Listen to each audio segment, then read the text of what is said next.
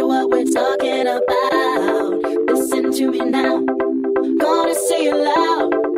Don't get it twisted what we're talking about.